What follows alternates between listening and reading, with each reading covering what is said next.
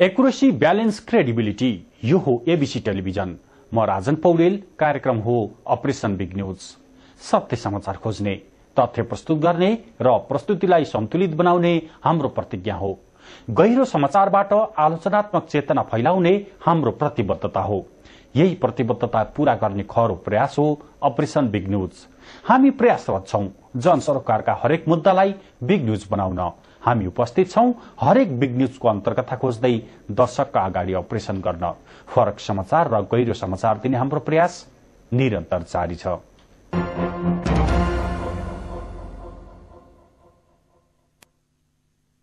दुई हजार बाहन्न सालबाट शुरू भएको माओवादी सशस्त्र युद्ध दुई हजार त्रिसठी सालमा अन्त्य भयो। विस्तृत शान्ति सम्झौतामा सरकार र माओवादीले हस्ताक्षर गर्दै। तर यो बीचमा भीषण लड़ाईहरू भए। दुई हजार बाहन्न सालबाट दुई हजार अन्ठाउन्न सालको साउन महिनासम्म माओवादीहरू प्रहरी सुरक्षाकर्मीसँग लडे। सोही सालको मंगिर महिनादेखि सेनासँग आम्ने सामने भए।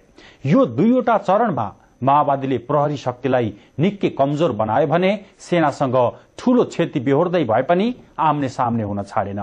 प्रहरी शक्तिलाई कमजोर बनाउन माओवादीहरूका लागि दुई हजार सन्ताउन्न साल फलिभाव भयो दुई हजार सन्ताउन्न सालमा रूकुम दैलेख नुवाकोट र रोल्पामा माओवादीले प्रहरीमाथि भीषण हमला गरे। दुई हजार सन्ताउन्न सालको चैत चौबिस गते दैलेखको नौ मूल्यमा भएको आक्रमण निकै भयानक थियो। दर्जनौ प्रहरीको मृत्यु भएको त्यो घटना सम्झिँदा नौमूल्यवासीहरू अझै पनि झस्किन्छन्। त्यो दर्दनाक घटना भएको अहिले एघार वर्ष भएको छ। यो एघार वर्षको बीचमा नौमूल्यको अनुहारमा परिवर्तन आएको छ। तैपनि एघार वर्ष अघिको घटनालाई पचाउँदै जिल्लाको सापेक्षतामा आफूलाई पनि द्वन्द्वपछिको रूपान्तरणको दिशातिर अघि बढाउँदैछ नौमूल्यले कछुवा गतिमै भए पनि। आज हामी एघार वर्ष अघिको त्यही भीषण घटनालाई सम्झिँदै नौमूल्यको परिवर्तनलाई विश्लेषण गर्दैछौ कार्यक्रम बिग न्यूजमा। द्वन्द्वको शिकार नौमुले समस्या जस्ताको त्यस्तै। जाग्दैछ सडक खन्ने मोह बालुवामा पानी खन्याए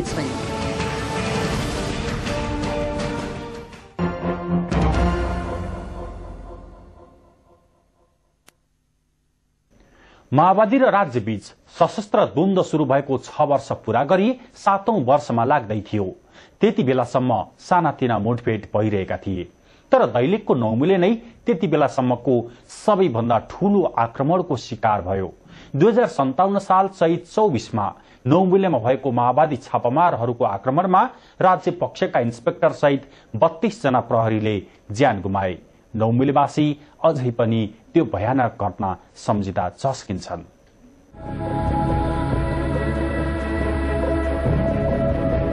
दुई हजार सन्ताउन्न चैत्र चौबिस रात नौमुलेमा भएको आक्रमणमा परि गोलीले छिया छिया बनेको शरीर लिएर एक प्रहरी बचाउनुहोस् आमा भन्दै चौकीबाट आफ्नो घरमा आए।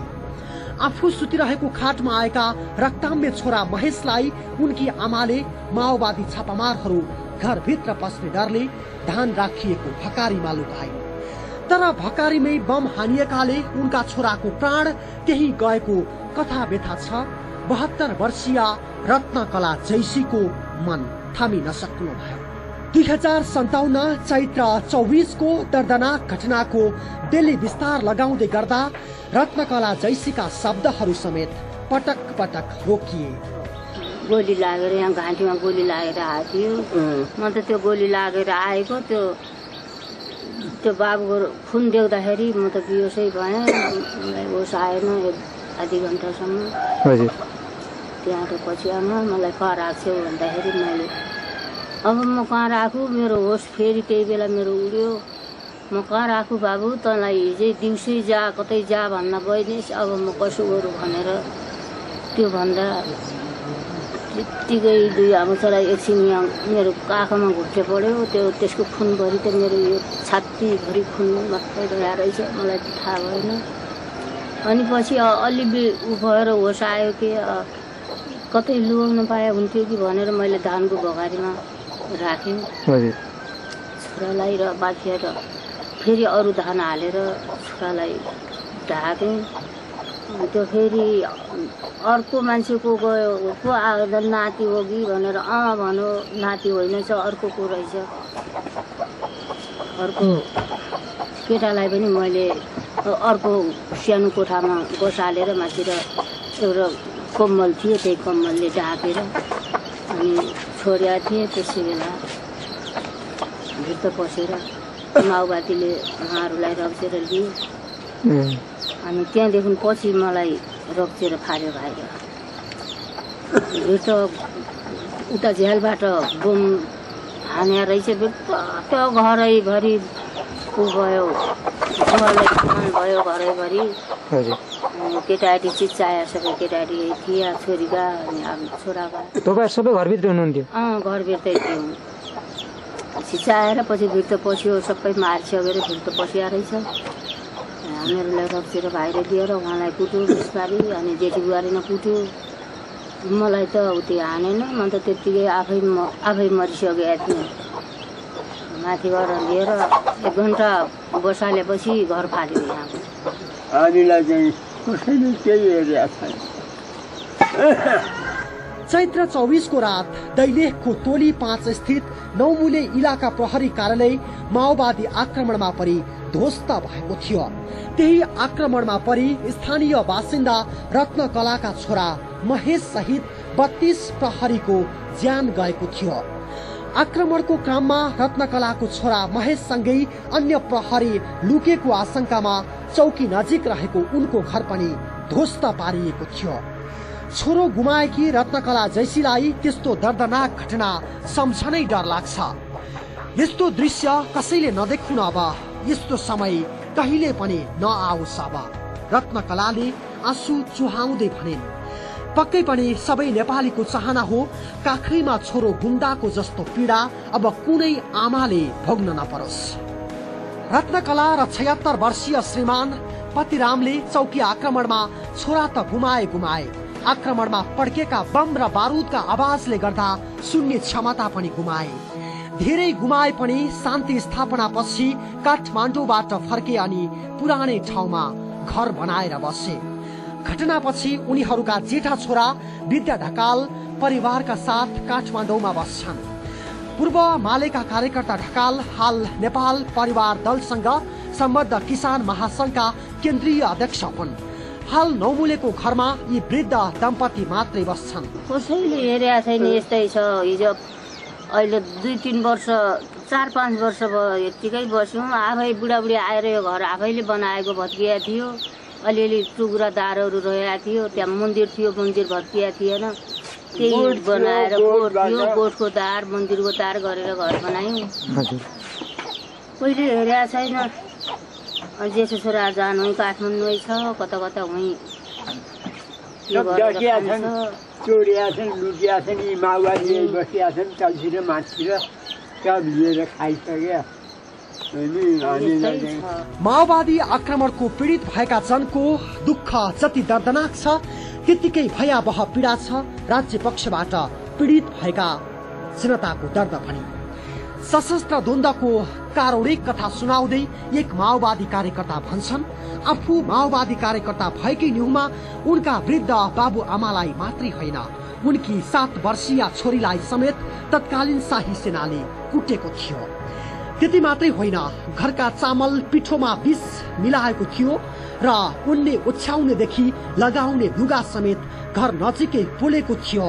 तत्कालीन शाही सेनाले माओवादी कार्यकर्ताको व्यथा उनकै शब्दमा। पुरा त्यो कपडा लत्ता कपडा सब जलाइयो। चामल पिठो अब त्यसमा अब बुवाल तमाखु खानुहुन्थ्यो। तमाखु चाहिँ काटेर सुकाएकोमा धान चामल पिठो तमाखु सबै एकै ठाउँ मिसाइयो।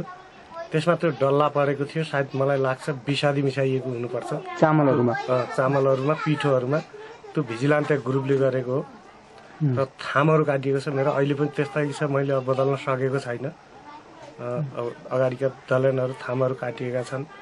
अब मेरो बच्चादेखि लिएर बुढा आमा बुवाले लगाउने कपडा लगाएको कपडा बाहेक अरू सबै कपडा ल्याएर घर अगाडि चाहिँ जलाइयो। अब त्यो दुनियाँले देखिराखेको छ। अब त्यो त्यस्तो बितडा पारियो त्यो त्यति बेलाको कष्ट। एकचोटि साई सेना आएर पनि बुवालाई गोद्यो अनि मेरो सानो आठ नौ वर्षको बच्चालाई गोद्यो। साई सेनै आएर। विभिन्न किसिमको आतङ्क अब भइरहेको थियो र अहिले अब त्यो त थोरै शान्त भएको छ भनौँ। लगभग मलाई त अब अलि पचास पर्सेन्ट मात्रै शान्ति आएको जस्तो छ। अहिले पनि अब भन्नुहोस् अब विकृति विसङ्गति जाँड खाएर हो हल्ला विभिन्न कोही गोत्ने कोही के गर्ने गुन्डा गर्ने चोरी डकैती यसरी राज्य पक्ष र माओवादी पक्ष बीच सशस्त्र द्वन्द्वमा भएको भिडन्तका कारण दुवै पक्षका मानिस पीडित भए। जनआन्दोलन र शान्ति सम्झौतापछि सशस्त्र द्वन्द्व अन्त्य भएको छ। त्यसको प्रभाव देखिन्छ नौमुलेका पीडितहरूको जीवनमा पनि। छोरो गुमाउनु परे पनि केही हदसम्म शान्ति आएकोमा उनीहरू छक्क छन्। माओवादी र राज्य पक्ष बीच युद्ध रोकिएर यस्तो परिस्थिति आउला भन्ने कल्पनासम्म गरेकी थिइनन् रत्नकलाले। कुनै प्रहरी देख्दा आफ्नै छोराको छलछली याद आउँछ उनलाई यहाँ बसेका पुलिसलाई देखेर छोराको याद मेटाउँछिन् उनी। आफ्नो घर नजिकै पुरानो ठाउँमा पुनर्स्थापना गरिएको छ प्रहरी चौकी। उति बेला र आजको नौमुले देखेर उनी आफै दङ्ग छिन्। उनी मात्रै होइन। सबै नौमुले बासी नै हर्षित छन् केही हदसम्म शान्ति बहाली भएकोमा। सशस्त्र द्वन्द्वको बेला त पहिला राज्य पक्षबाट पछि माओवादी पक्षबाट पीडित भएका थिए जनता। त्यस बेला उनीहरू अब कहिले पनि नौ मूले नफर्कने भन्दै हिँडेका थिए तर उनीहरू अहिले धमाधम आफ्नो नौ मूले फर्कन थालेका छन्। ABC reporter Kabiraj BC Naumule Dailekh.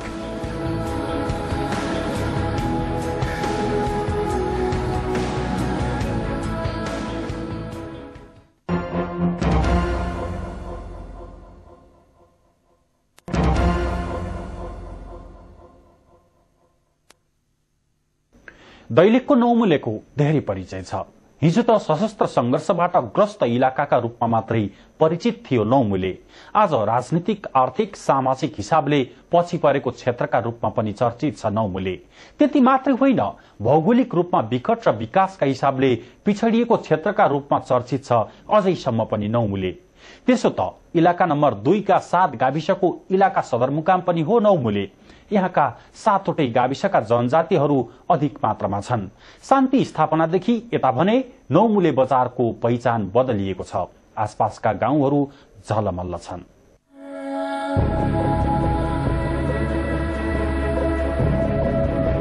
लघु जलविद्युत आयोजना बनेपछि यहाँ अँध्यारोको आवाज छैन। बिजुलीसँगै कम्प्युटर इन्स्टिच्युट फोटोकपी हुलाक टेलिसेन्टर फिल्म हल सञ्चालन भएका छन्। द्वन्द्वका क्रममा विस्थापित बनेका प्रहरी वन कृषि हुलाक पशु सेवा लगायतका सरकारी कार्यालय पुनर्स्थापित भएका छन्। उच्च मावि सञ्चालनमा आएपछि यहाँका युवालाई प्लस टू पढ्न सदरमुकाम या जिल्ला बाहिर जानुपर्ने बाध्यता हटेको छ। मोटर बाटो पुगेपछि दिनहु मालवाहक र यात्रुवाहक सवारी साधनको चहल पहलले नौमुलेमा रमाइलो पनि छाएको छ। जीविसका योजना अधिकृत पदम सापकोटाका अनुसार त्यस क्षेत्रका बालुवाटार तोली कालिका नौमुले सल्लेरी र द्वारे गाविसका डाँडा काँडामा सड़क पुगेका छन्। सड़कमा आएको सुधारले गर्दा गाउँ गाउँमा ससाना बजारको संख्या बढेको छ। स्थानीय उत्पादनले राम्रो मूल्य पाउन थालेका छन्। घर जग्गाको कारोबार तथा होटल व्यवसाय बढेका छन्। शान्ति र पुनर्निर्माण मन्त्रालयले द्वन्द प्रभावित नौमूल्यको विकासका लागि क्रमागत बस्ती विकास योजना लागू गरेको छ।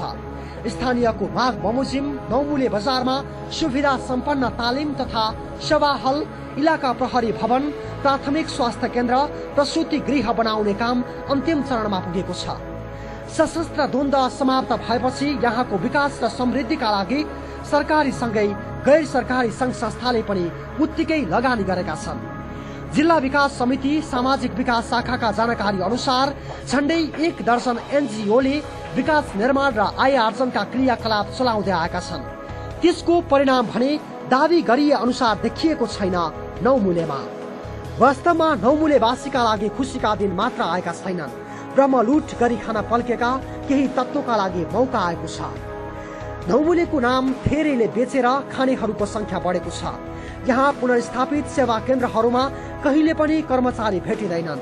उपचारका लागि इलाका स्वास्थ्य चौकीमा एकजना डाक्टरको दरबन्दी भए पनि अहेबबाटै काम चलाइएको छ।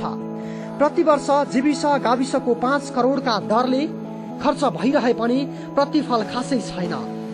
अझै पनि यहाँका सोझा साझा जनताले दुःख पाइरहेका छन्। सुविधा पाउने भन्ने कुरोमा अब यहाँ पाउने सुविधाहरू अहिलेसम्म थाहा पाएको। स्वास्थ्य लगभग चलिरहेछ हजुर। अब ब्लकहरू चलिरहेछ अब भेटनेरीमा धेरै मान्छेहरू आएर भेटनेरीबाट अब सुविधा पाएन भनेर जनगुनासो बढिरहेछ। अब भेटनेरीको जहिले पनि ताला लागेकै देखिन्छ।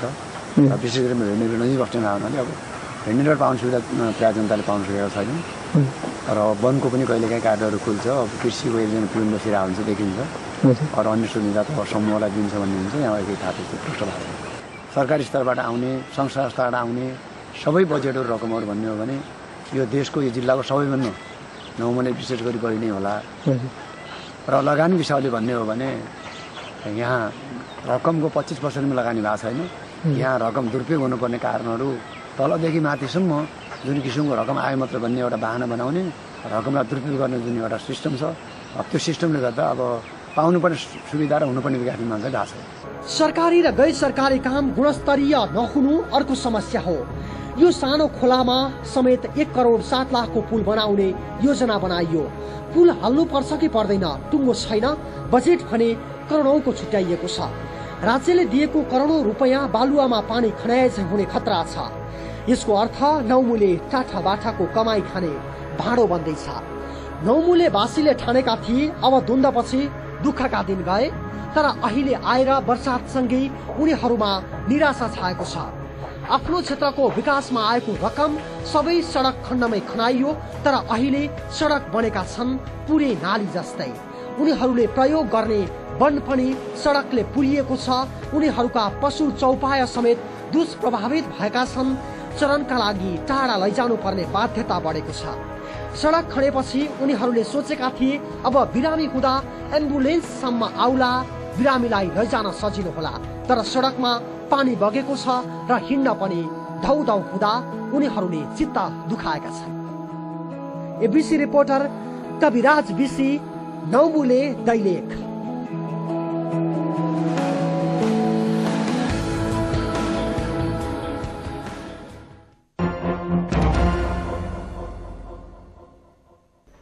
यसैका लागि नौमुलेवासीले जनयुद्ध र जनसङ्घर्षमा रगत बगाएको त पक्कै पनि होइन होला। तर अहिले पनि विकास निर्माणका कार्यक्रममा पहुँचवाला टाँठा बाठा र बलिया बाङ्गा नै अध्यक्ष बन्ने चलन भने हटेको छैन। जनयुद्ध र जनसङ्घर्ष सकिएको धेरै वर्ष बितिसक्दा पनि नौमुलेवासीले राम्रोसँग सिटामोल बाँड्ने स्वास्थ्यको कर्मचारी समेत देख्न पाएका छैनन्। एकजना डाक्टर र एक अनमी एक स्टाफ नर्सको दरबन्दी भए पनि उनीहरूको नाकमुख देख्न पाइएको छैन। शहरमै बसेर बिहान बेलुका निजी मेडिकल पसलमा बिरामी हेर्न डाक्टरहरू पुग्छन्। नेपाल सरकारले दिएको तलबले नपुगेरै होला दैलेखका डाक्टरहरूलाई मेडिकल धाउँदैमा फुर्सद छैन। उनीहरूलाई नौमुलेसम्म ल्याउने कसले होला? विकास निर्माणका कामको निगरानी गर्ने र गलत काम गर्नेलाई कारवाही गर्ने कसले होला? रिपोर्टसित आउनेछौ एकैछिनको ब्रेकपछि यस कार्यक्रमका प्राय नौमुले क्षेत्रमा धेरै एनजिओ आइएनजिओले केही काम नगरेकै भने होइन तर ती कामका कारण कुनै तात्विक परिवर्तन आएको छैन सबैले आफ्नो काम कागजमा देखाउने र डोनरलाई फकाउने गरेका छन् यसरी एउटा नौमुलेवासीको सपना बेचेर खाना पल्केकाहरूलाई निगरानी गर्ने कसले होला जनताको प्रश्न छ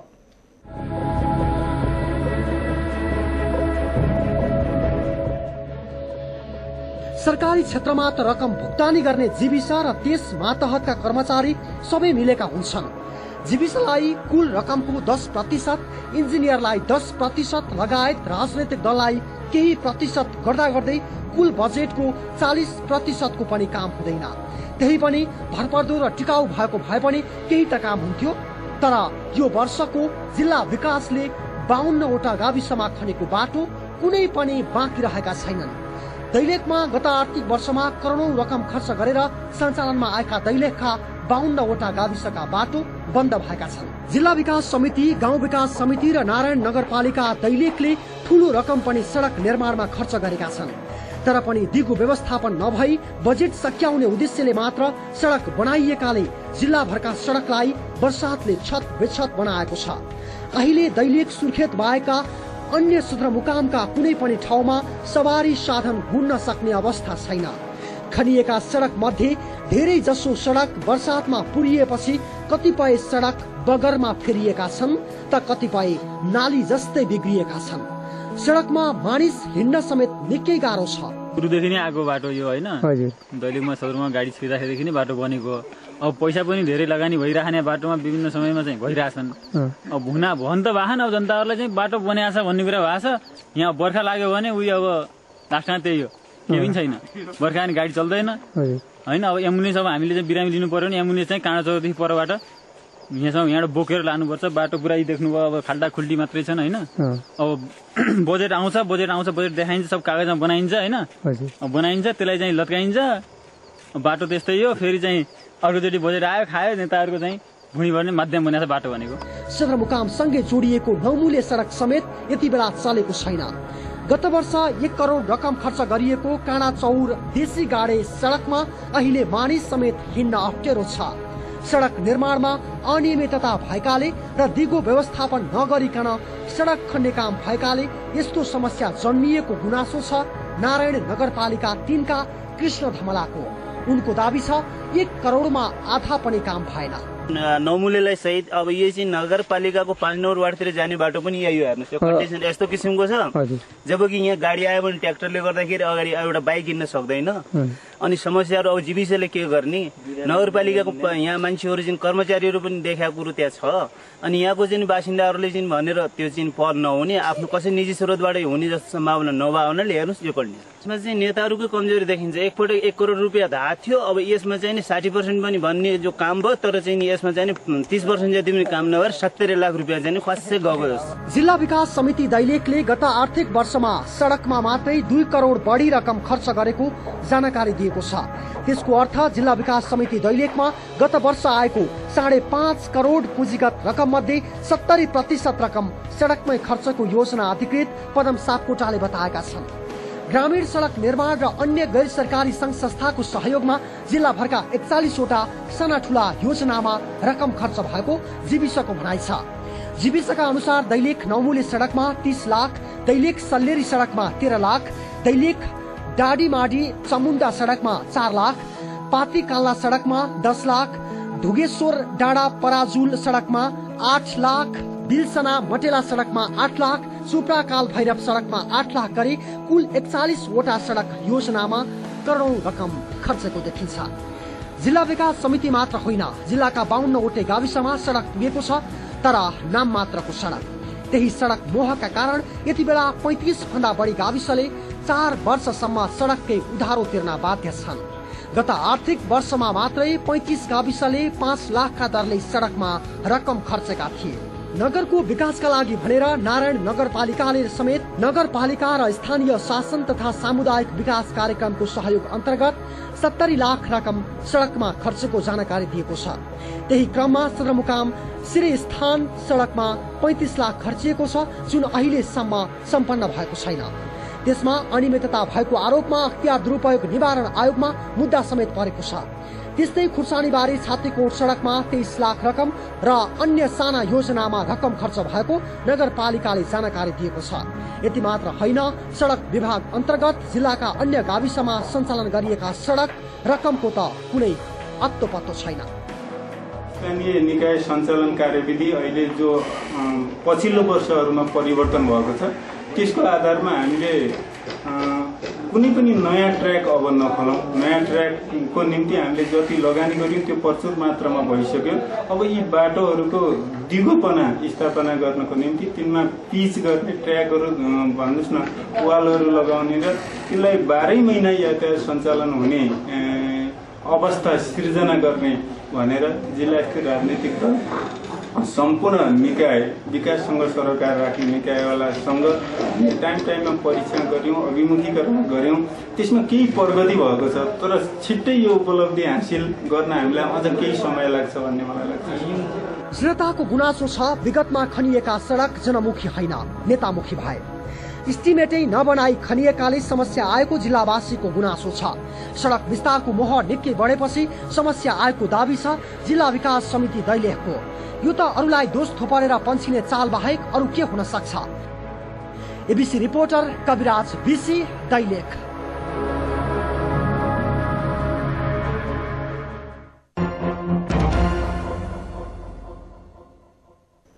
जिल्लामा सड़क खन्न प्राविधिक इस्टिमेट नगरेकाले वातावरणीय दुष्प्रभाव पनि निकै बढ़ेको छ। डोजरवाला र नेताले चाहे अनुसार पहुँचवालाका घर घरमा पुग्ने गरी बाटो खनिएकाले समस्या उत्पन्न भएको छ। यसरी नै करोड़ौं रकम समेत बाटोमै व्यर्थै सुहा पार्ने खेलले कसको हित गर्छ? जनतामा प्रश्न उठेको छ। जनताको अपेक्षा विपरीतका कामहरू हुन थाले भने द्वन्दताका निकै क्षति बेहोर्नु परेको नौमूल्यले सबैलाई सराप्नेछ। अनि सराप्नेछन् ती आमा विधवा र टुहुराहरूले जसले द्वन्दको क्रममा आफ्ना सन्तानहरू गुमाएका छन्। अपरेसन आज सकिन्छ। भोलि अर्को बिग न्यूजको अपरेसन गर्नेछौ। गाउँसर र दुनियाँ पिउचाउने हाम्रो अभियान जारी छ। तपाईँ एबिसी टेलिभिजन हेर्दै गर्नुहोला। नमस्कार।